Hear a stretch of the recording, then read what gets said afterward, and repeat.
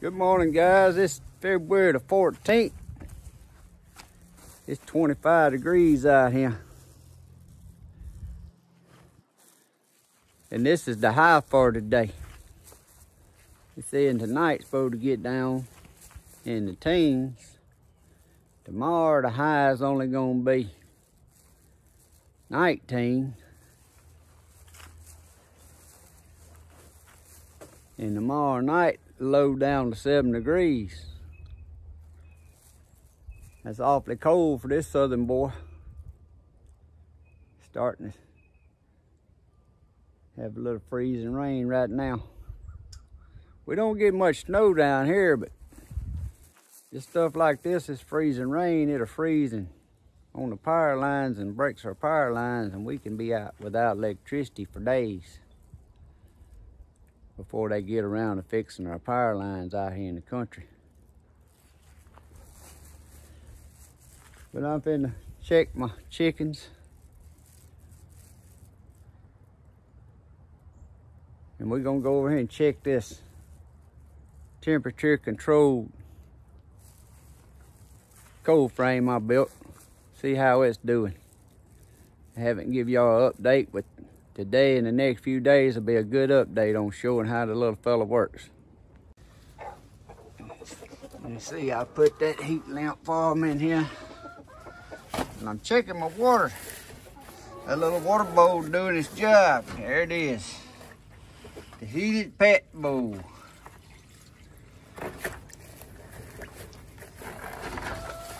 So it's doing its job because it's 25 degrees right now. I don't know how low it got last night. I didn't look this morning.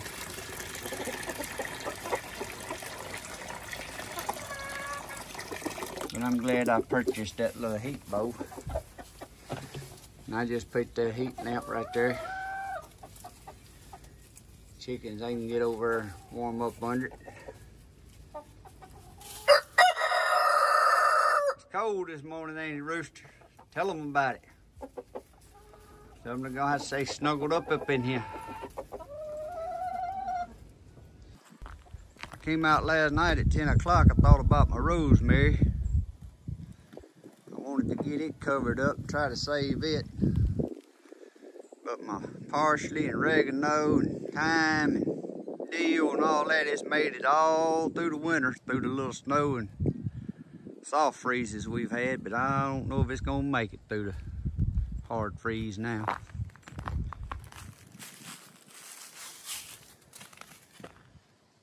Y'all can see it's showing it's like 22 degrees. So now we're gonna go check on my cold frame. This is my temperature controlled cold frame. You'll look back on the video. I'll try to attach it above on how to build it. But when it's when it's well, it gets below freezing like this, I cover it with plastic just to help it keep the heat in so the heat lamp won't have to run as much. But this kind of temperature, I'm sure it's running full time. But let's take a look inside and see what what the temperature is. All right. As y'all can see, the temperature inside here is 68 to 70 degrees. That's good, and it's 22 degrees out here. There's an update on my seeds I started a few days ago. For my cold frame seeds starting experiment, just starting them outdoors, strictly in this cold frame. All of my tomatoes ain't coming, but just about all of them I planted in there coming up. Anyway, guys, just want to give y'all an update on how the cold frame's working. It's a cold day here on this February 14th, 2021. High today was 25, and that was early this morning. It's down to around 20 right now. Gonna have some cold days coming up next two or three days. Tomorrow night, low 19, and Monday night to see a low of 7 degrees. But I can't just stay in the house. So I have my plants here that I started planting. I have my seedlings here that I planted January the 16th. You see they're getting a little crowded, the tomatoes overshadowing my bell peppers. But it's time to plant them up. You start seeing they getting the roots starting to grow around there, so I need to get them out and couple them up.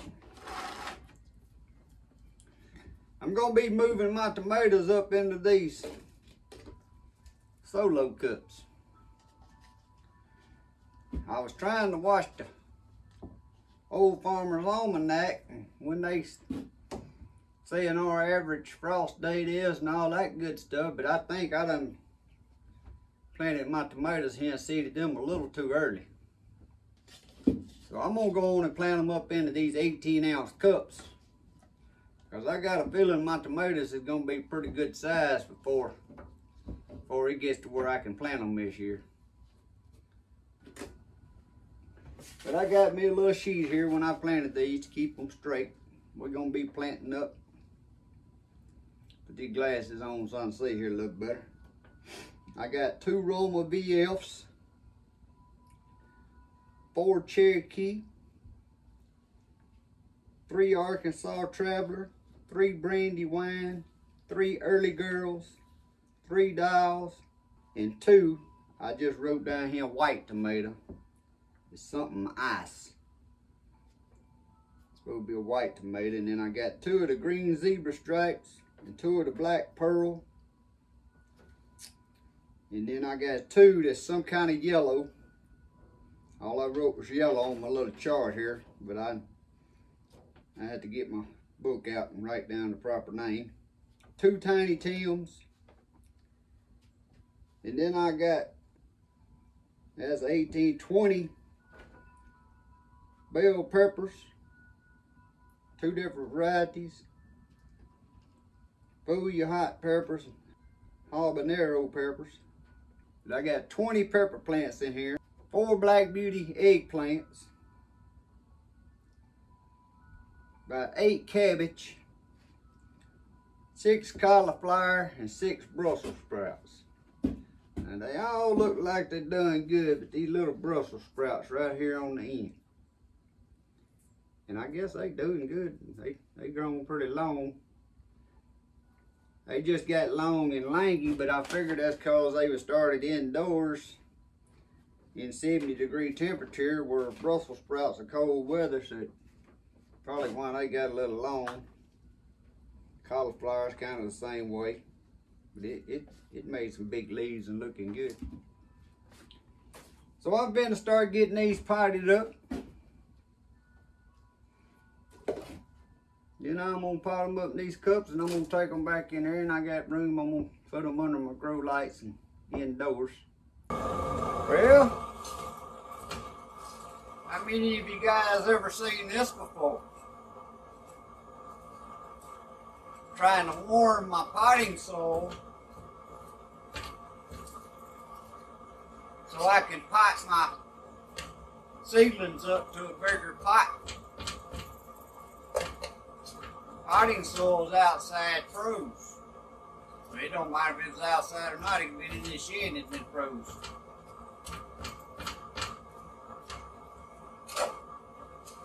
So,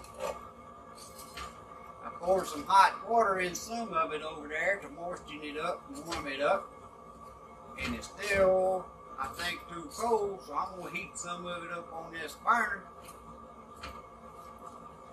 and I'm gonna mix it with my other soil. I'm scared. I'm scared if I plant straight and that soil's too cold, even though I'm gonna move them back, take them back indoors under the lights, I'm afraid that soil's too cold. I know it was too cold because it froze like a rock. Yeah, and that's getting warm. That's getting warm enough now. I'm gonna mix it with my other soil get it to some warm temperature. thought I'd show y'all guys that, I bet you ain't never seen it. Especially in the south. What I like about these cups here is I can take these Sharpies and write on them. I just take a cup, stack them all on top of each other and take a drill and just drill a hole down through the bottom of them. You can do 15 or 20 cups at one time, depends on how long your drill bit is. But I like these cups. You can take a Sharpie and you can just write on there what tomato it is, what plant it is, the date you started it.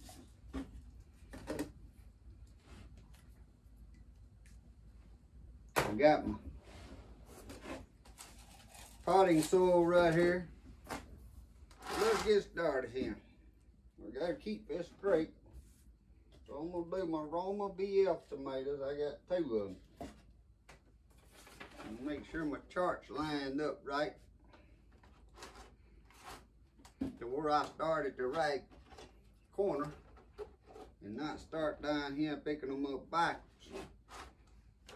I don't want no surprises when I plant my garden and I think I'm planting a Cherokee and I end up with a Roma tomato when it gets big enough. But I got to, I got it marked right here with a piece of tape. I'm gonna start the top left hand corner, that's my Romas. While I'm putting these up, probably gonna have y'all little song playing. Cause I'm gonna turn this heater on and it makes some racket. Warm it back up in here. The temperature is getting a little too cool for me.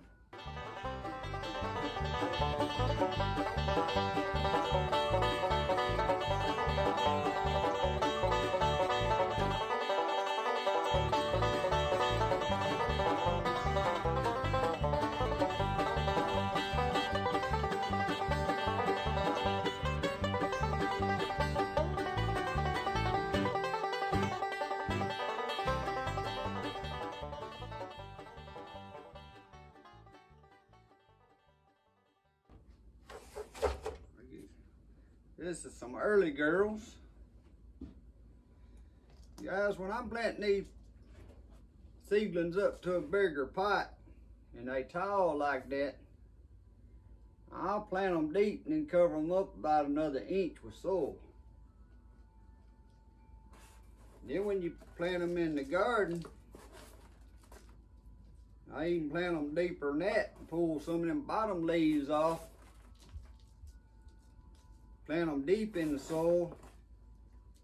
Called tomato. It'll make roots out beside the stem and make you a stronger tomato plant. That's why I'm putting them as deep down in these cups. They'll start making more root, make a stronger plant. In the next couple weeks, you'll see when I do an update on them in there on them grow lights, they'll be a lot prettier, stockier plant than they are right now. Even though they were started under grow lights, indoors, started under one of these 72 cell trays. That's why I got so much in one tray. I had the room, I wouldn't start so much in one tray like this. But I ain't got but so much room indoors.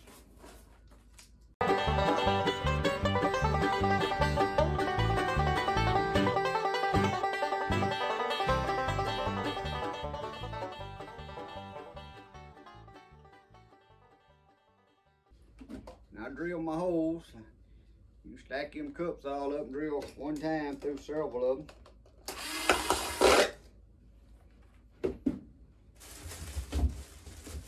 Matter of fact, I just go on take a whole stack of them here.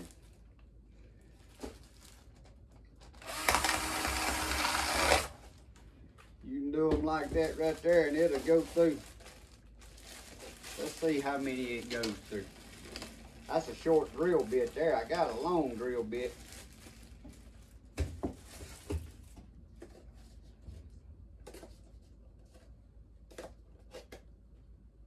Well, it went through all them. Two, four, six, eight, ten, twelve. That's 15 cups that that bit went through. And that's about a four inch bit.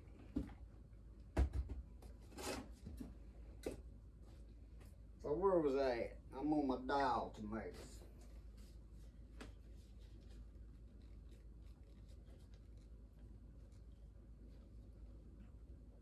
I ain't never planted no dial. If y'all ain't never seen Mr. Leon's gardening channel, y'all need to check him out. That old man, a good fellow. He forgets more every night about gardening when he goes to sleep than I ever know about gardening. And I seen him talking about on one of his videos about these dial tomatoes. And I'm gonna try to raise them to some the way he does by putting a wick pot on top of a barrel. And y'all see that as the growing season goes by, what I'm gonna try to do. I figure he, he's done done it long enough, he knows which tomatoes does the best. And the reason for using them to do that. And so that's what I'm gonna do with a couple of these. Set a wick pot on top of a barrel, plant them and just let them hang over as they grow. And these tomatoes here, he says they won't grow as, you planted them in the ground, they wouldn't be as tall, but planting them like that, they won't grow as long, so that way they won't touch the ground. Them early girls, I want them because I want they supposed to get ripe early. I want some tomatoes that'll get ripe earlier than the others. And like them white tomatoes and them green zebra tomatoes, I'm doing all that just because I like try something different. I personally ain't never seen a white tomato growing on a vine. So I'm gonna do it just to do it. Nothing else that adds a little color to the garden. I got enough between my Arkansas Travelers and my Brandywine and my Cherokee and my Roma VFs.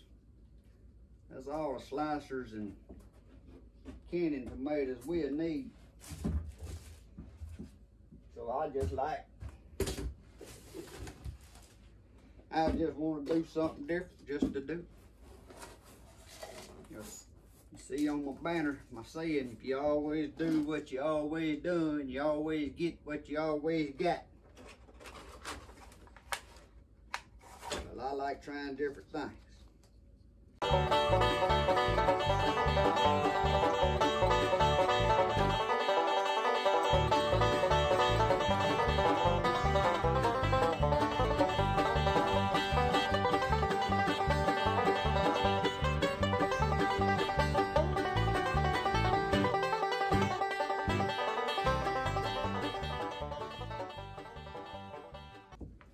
Alright guys, that's all of the tomatoes. Got all my tomatoes potted up to my bigger cups. I think I'm gonna take them in the house and get them set under the grow lights. Then I'll probably continue and plant these pepper plants on up into something a little bigger. Alright guys, I got me some more soil heated up, mixed up. Now I'm gonna continue pot up my pepper plants here. 10 bell pepper plants I'm gonna plant up. And all my peppers.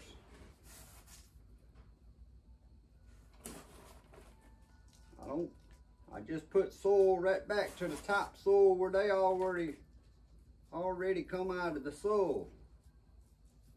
You don't wanna, you don't wanna put them down under the soil like you do the tomatoes. Like I said, in the tomatoes, they'll make more roots off the side of the stem. The peppers, I guess tomatoes is the only thing I do like that. Happy Valentine's to everyone out there. I forgot to tell y'all happy Valentine's. I didn't I didn't forget to tell my wife Valentine's though. Actually, I got her early. I gave her a little rose yesterday. I learned a long time ago forgetting to tell them happy Valentine's and happy birthday. That gets you put in a doghouse. And it's too cold to get put in the doghouse.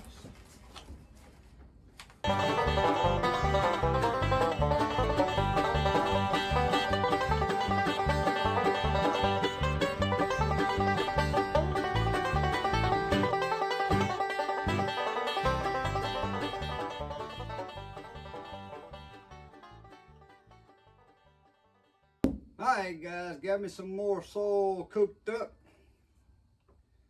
Done a lot of things in my life, but I ain't never had to cook and warm no soil on the stove to plant my seedlings in. But, I guess if I wouldn't have left them outside, where was I? Still got three more habaneros to plant. I guess if I wouldn't have left my soil outside, I wouldn't be doing this.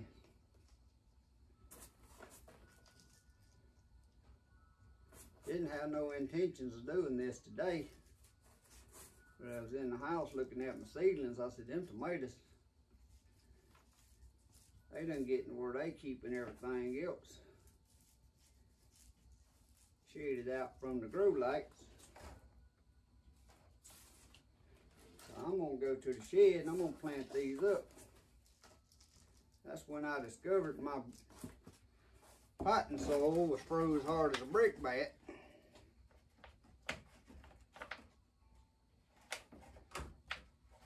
And just adding warm water wasn't doing the trick.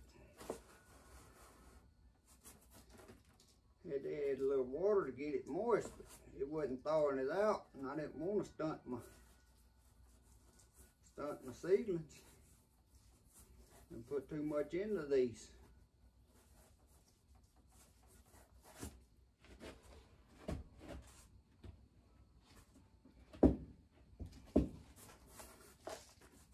You never know what you might see old pull board doing.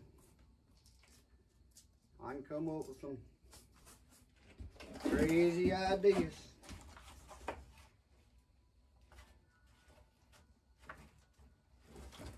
Some of them turn out pretty well though.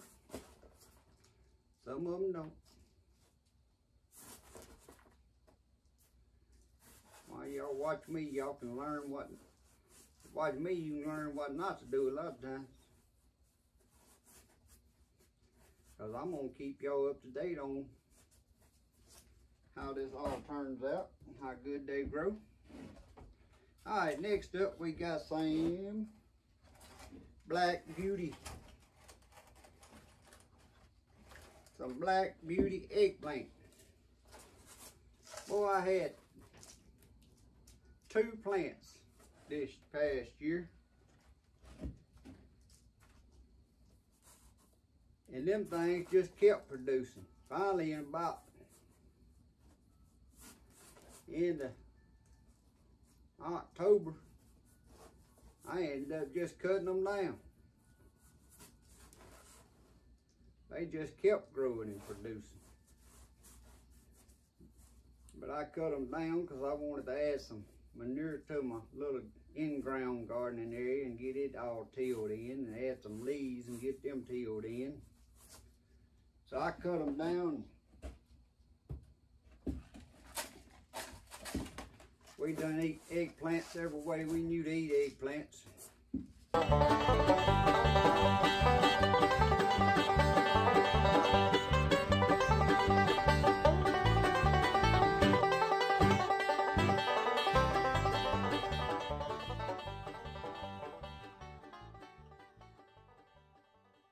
So next up, we get six cabbage, six cauliflower, and six Brussels sprouts. So I'm I got an 18 cell deal here. Got bigger. I'm gonna plant them in all in here. what I'm finna do. And surely, by the time they outgrow this, I hope it's where I can get them out in the beds. They cool weather crop. Some of my beds, how I have them set up, if I can get them planted, I can't fight no, can't fight no weather like we're having right now. But it's just gonna drop below freezing, a little frost one night here and there. I I can cover them beds and uncover them the next day. That's one thing I like about raised beds, especially them ones like I got them built two foot off the ground and stuff. I can go out there and cover them. See them frost nights gonna come, cover them. Try to get an early start on a lot of this stuff. Like I said, down here it gets so hot. So quick.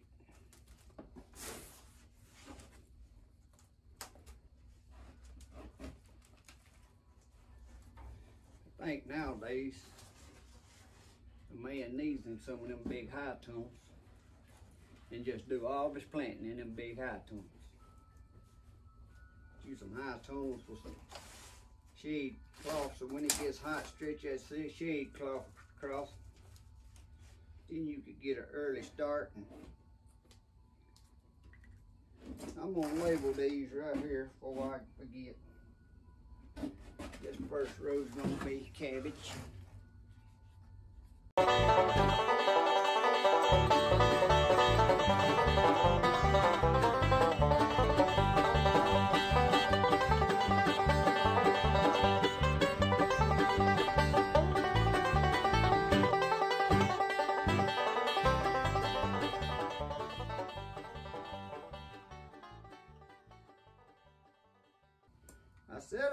Put these in the cold frame, y'all, but I don't know. I don't know if I need to do that or not with this weather supposed to get like it is with all this ice.